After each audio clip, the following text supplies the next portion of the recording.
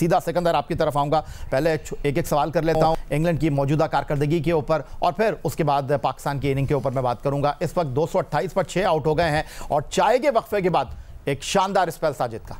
बहुत ही ज़बरदस्त और मैं घर से निकला हूँ यहाँ पहुँचा हूँ तो तीन आउट हुए हैं। तो उसका मतलब है कि मुझे घर से हर वक्त निकलते रहना चाहिए वो आउट होते रहेंगे। और विद इन फिफ्टीन मिनट्स जो है ना ग्यारह रन के ऊपर मैंने भी निकाला। चौदह रन पे तीन खिलाड़ी आउट हुए।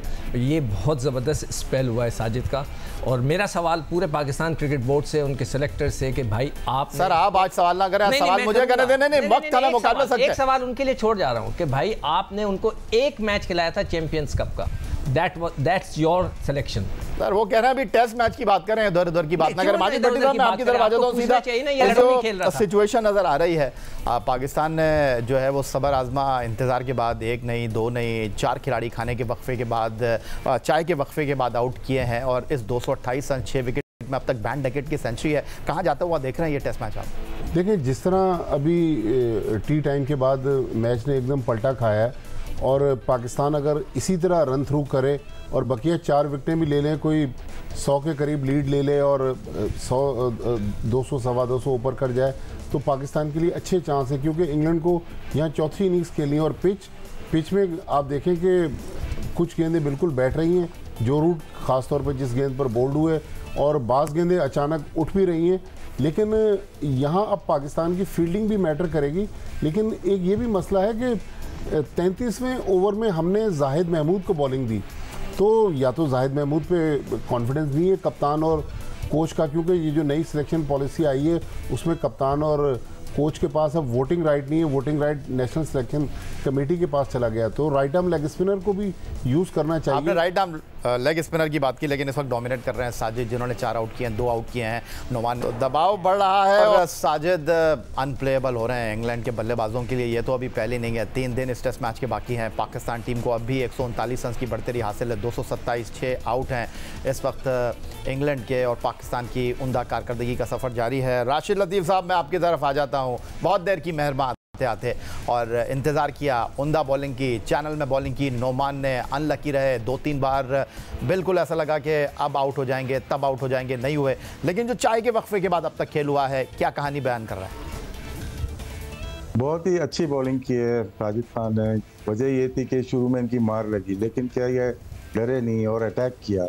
उनकी लेंथ दिखेगा थोड़ी सी आगे की है इन्होंने। थोड़ी सी पीछे अगर करेंगे तो स्लो ब्रेक हो रही थी। सामने से रफ बने हुए वहाँ से इन्होंने आउट किए हैं। और क्योंकि स्पिनर पे जब अटैक होता है तो उनसे बॉल नहीं गिरती जगह पे। लेकिन इन्होंने हिम्मत नहीं रही और अटैक किया है, जिसकी वजह से विकेट्स मिली हैं। चार विकेट जो उनको मिली और नोमान ने भरपूर साथ दिया है उसका।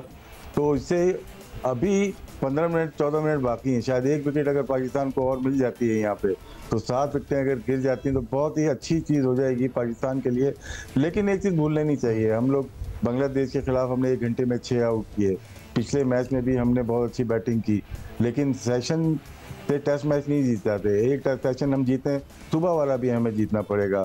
ज़बरदस्त बैटिंग आज जो रही है ना, वो आमिर जमाल ने पार्टनरशिप की, आगा के साथ 38 रन की, फिर नोमान ने पार्टनरशिप की, आमिर जमाल के साथ 49 वो 87 रन वो फ़र्क रहेगा पूरे टेस्ट अच्छा मैं पाकिस्तान की नहीं की बात करूँगा राशिद लतीफ साहब लेकिन इस वक्त जो सूरत हाल है ना इस टेस्ट मैच की किसी उस जहाज़ से कम नहीं है कि भवन में फंस जाए जहाज़ मौसम अच्छा ना हो और पायलट कॉकपिट से ये ऐलान करे अपने सफ़र करने वाले मुसाफिर से कि जनाब फ़्लाइट नाहमवार है अपने सीट बेल्ट बाँध लीजिए। तो सीट बेल्ट हर वक्त यहाँ पर जहाँ लोगों को जहाज़ में बांधना है यहाँ पर इस वक्त टेस्ट मैच में हर वक्त आपने अलर्ट रहना है मौका नहीं देना।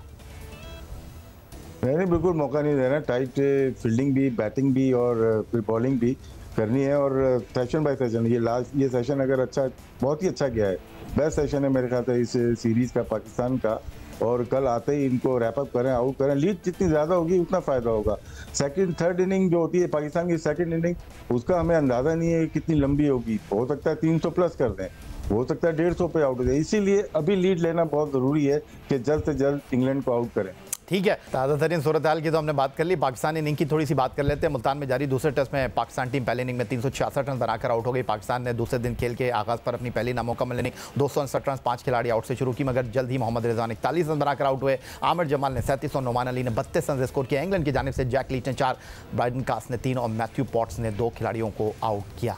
तो सिकंदर बग साहब तीन सौ छियासठ पाकिस्तान और इस वक्त इंग्लैंड दो सौ बत्तीस छः खिलाड़ी आउट पाकिस्तान की बैटिंग के ऊपर क्या बात करना चाहेंगे? देखो, आखिरी के जो पाँच विकटें थी ना, उन्होंने 120 रन ऐड किए। और ये बहुत ही बहुत ही इंपॉर्टेंट रन हैं। और नीचे पाकिस्तान में पहले आमिर जमाल बहुत सॉलिड खेल रहे हैं बहुत अच्छा खेल रहे हैं। It's a very good sign कि हमें नीचे एक जो एक ऑलराउंडर ढूंढ रहे थे वो हमें थोड़ा सा उसकी शक्ल नज़र आ रही है। मगर एक सवाल मैं पूछूँगा कि साजिद जो हैं उनके एक सौ हैं और पाँच पचास हैं फ़र्स्ट क्लास क्रिकेट में। नुमान के एक सौ और चौदह पचास और एक नाइन्टी सेवन टेस्ट क्रिकेट में। यार उनको ना नीचे भेज दिया आपने। हमारे यहाँ ये चीज़ समझ में नहीं आती कि वहाँ जो कोच बैठा है कप्तान बैठा है उसको नहीं पता कि Nauman is a better batsman than Sajid थोड़ा फ़र्क पड़ जाता है और भी इसलिए कि वो और ऊपर चला जाता तो नीचे के इनिंग में कामरान के अलावा आपको किसकी बैटिंग अच्छी लगी साइम अयूब के अलावा? पाकिस्तान की पूरी लाइनअप में? जी साजिद और साइम और कामरान के अलावा। देखें उनके अलावा जो है अपना आगा जो है बहुत अच्छा और ख्याल से अच्छी कंट्रीब्यूशन कर रहा है। इस दफ़ा भी उसने अच्छी कंट्रीब्यूशन की है। उसके अलावा ये आमिर जमाल मगर मुझे ब्रेक लेने के लिए कहा जा रहा है।